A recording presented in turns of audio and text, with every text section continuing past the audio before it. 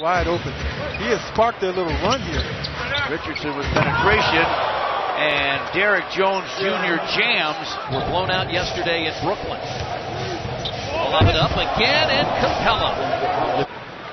Lowry comes on the screen. LaVine passing inside there. It's a nice two-man game there. LaVine to Carter, and the lead is up to five. The neophyte out of Duke rising and surprising them.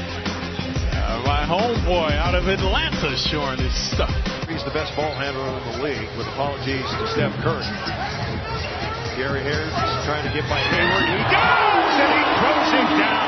I'm telling you, when Hayward or Morris is in the game, his strength is.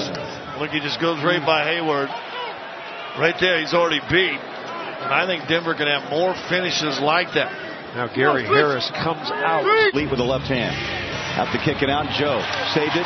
Great D again. They lock down Toronto and they run. Crowder back to AB. Oh! Inside! Did Houdini just make an appearance? On the defensive end, it starts. Joe Ingles saves it. Here's the reward. You give it up, you get it back. Lorenzo Brown on the court for the first time. Ekpe Udoh also some minutes for Utah. Allen trying to run this one coast to coast and does. Beautiful hammer by the rookie from Duke.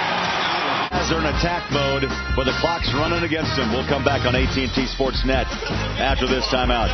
Almost thrown away, saved by Gallinari. Boban has it, drops it back. The cut by Gallinari and the feed over the shoulder by the big man Marjanovic and the foul. Over at Lou saying, you know what?